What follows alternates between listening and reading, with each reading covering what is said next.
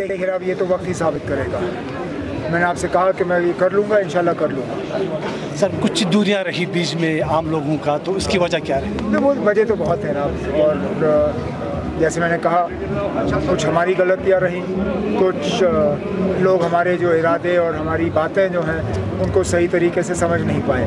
लेकिन गलतियाँ इंसान से होती हैं। अब हमारा फ़र्ज़ बनता है कि उन गलतियों से जो सबक सीखी गई है उसको दोबारा जो है उन गलतियों को हमें दोहराना नहीं चाहिए। और क्या कहेंगे? सर एक एक आप एक मिशन लेकर निकली है पूरी नेशनल कॉन्फ्रेंस आने वाले इलेक्शंस के लिए। तो इस मिशन को जो आपने आज यहाँ से शुरू किया द्रास से तो इसको आगे बढ़ाने के लिए आप क्या क्या इकदाम उठाएँगे? इकदाम तो यही होगा कि लोगों के साथ पूरी तरह से जो रास्ता हमारा है उसको हम बढ़ाएँगे और कोशिश करेंगे कि लोगों के साथ एक तालमेल जो है वो बना रहे। और हमारा तो यही मकसद है क्योंकि हम अपोजिशन में हैं हम तो सिर्फ़ लोगों की बातों को उभार सकते हैं। हल करना तो अभी दूसरों का काम है फ़िलहाल तो वो फेल हो चुके हैं पूरी तरह से। और अब अगर हमें मौका मिलेगा तो इंशाल्लाह कोशिश करेंगे कि इन मुश्किलात को हम दूर करें। सर एक आखिरी सवाल जो हाल ही में सेक्रेट मूव के बाद जो वारदात हो रहे हैं वाक़ात हो रहे हैं उसको आप किस नज़र से देख रहे हैं? कहाँ पर सिर्फ़ कश्मीर में तो हालात बहुत ख़राब हैं। कोई दिन ऐसा नहीं है जहाँ पे कि कहीं वादी के किसी ना किसी कोने से खून खराबे की हमें खबर नहीं आती। या तो मिलिटेंट की गोलियों से लोग मर रहे हैं, या फिर सिक्योरिटी फोर्सेस की गोलियों से मर रहे हैं। कल मतलब परसों रात को तीन लोग जो हैं उनको मारा गया था मिलिटेंटों ने मारा।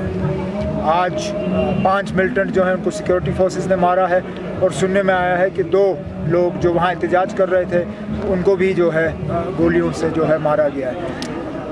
इस खून खराबे का कहीं ना कहीं तो हमें इलाज निकालना पड़ेगा। कब तक जनाब हम अपने आने वाले नस्ल को इस तरह कुर्बान करते रहेंगे? चाहे वो मिलिटेंट हो, चाहे वो पत्थरबाज हो, है तो हमारे। उन्होंने सही, उन्होंने रास्ता गलत अपनाया है, लेकिन उस गलत रास्ते से उनको वापस लाना वो हमारा फ़र्ज़ बनता है। और मैं अफसोस से कहता हूँ कि हमारे जो हुक्मरान हैं वो पूरी तरह से इसमें फ़ेल हो चुके हैं। उनको जैसे कि लगता है उनको मुझे लगता है उनको बिल्कुल इस बात का कोई अफसोस ही नहीं है कि कश्मीर में इस हाल इस तरह के हालात बने हैं। हमें ज़्यादा अफसोस है बनस्बत के उनको। अगर ऐसा ही रहा तो मतलब इससे ज़्यादा बुरा क्या हो सकता है? जो आदमी पढ़ा लिखा मतलब अच्छे नो, अच्छे नौकरी पे हो जिनका मतलब कल तक काम ये था कि वो आने वाले दिनों के लिए दूसरे, एक हमारी जनरेशन को तैयार करे। वो इस हद तक मतलब मायूस हो गया था हालात से कि वो खुद बंदूक उठाने के लिए तैयार था। हमें ना इसको समझने की ज़रूरत है कि आखिरकार क्या हुआ कि वो अपनी नौकरी को छोड़ के बंदूक उठाने के लिए तैयार था, बन गया। मुझे मुझे तो पता नहीं। अब हमें एक तो ये जानना पड़ेगा कि खुद उसने ये क्यों किया और आगे इस तरह के हालात ना बने, इसके लिए हमें बहुत जल्दी इकदाम उठाने पड़ेंगे।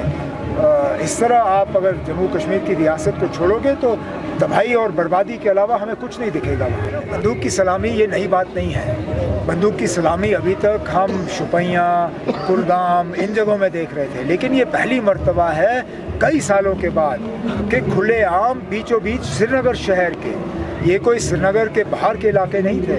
ये श्रीनगर के बीचों बीच ईदगाह में जो है ये बंदूक की सलामी दी गई। और अगर इससे हमारे हुक्मरान परेशान नहीं होते हैं तो मुझे नहीं पता है वो किस बात से परेशान होंगे For more updates, subscribe to our channel Kargil Today. Click the show links and enjoy watching the videos. Like us on Facebook and follow us on Instagram. Keep watching Kargil Today. Keep enjoying Kargil Today, the only voice of Kargil Ladakh.